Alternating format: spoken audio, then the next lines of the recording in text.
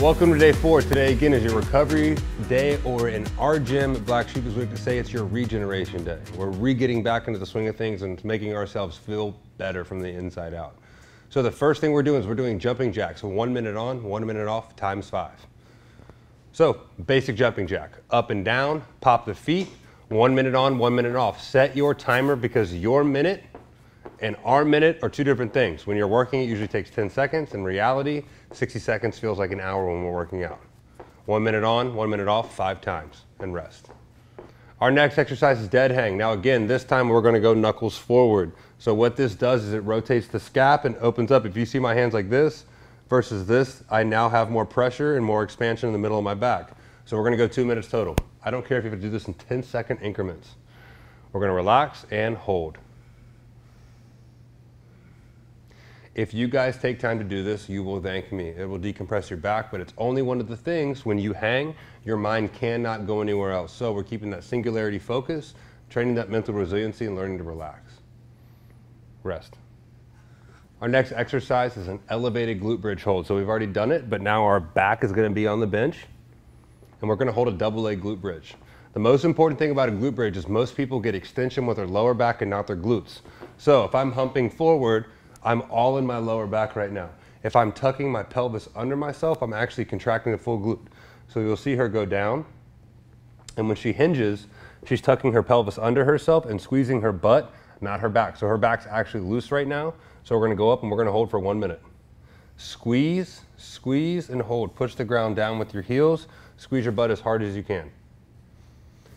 We're gonna go for one minute. Continue to breathe and create space in your diaphragm and lower back.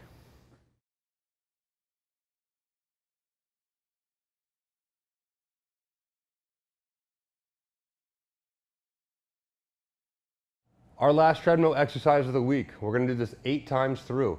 We're gonna shorten our rest time, which is gonna be a lot harder on our nervous system. So we should be getting into anaerobic or lack of oxygen. So it's gonna be a lot harder, you're gonna sweat. If you feel nauseous, slow it down and walk. What we're gonna do is we're gonna go again, we're going 10 seconds on, 30 seconds off, eight times. So I'm gonna try to push this closer to eight to nine to 10 miles an hour for myself. This could be three to four miles an hour for you. It's a nice smooth pace. So this is at 10.7. I'll be nice and smooth, test out the treadmill, and roll.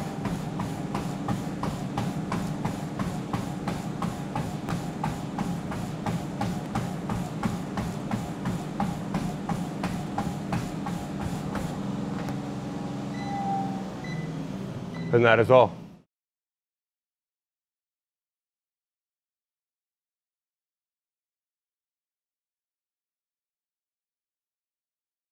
Our next is our hip circles. So again, a hip circle is nothing but a movement. We're moving the hip internally and externally and learning how to actually balance. Proprioception is the body's spatial awareness.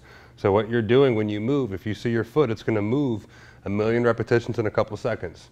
So teaching the body in space how to move and think about movement without actually putting stress on the body is gonna make you feel better. Here we go. 30 each way. So 30 clockwise, 30 counterclockwise. Taking your time, driving this glute to the ground and keeping very, very tall in our chest and rest. Our last movement of the day, our isometric, is our top push-up. We've already done it. We're gonna go down again. We're gonna work the middle of the back. These two weeks phase are gonna be very, very hard in the middle of the back and we're trying to really isolate this. So if you have someone here pushing she's gonna have to push through my hand. As you can see, that's very rough. If not, she's rounding that back like a cat and pushing through. Your belly button should cramp because you're pulling your abs down towards here and it's a full workout. Rest. We're holding that for one minute total.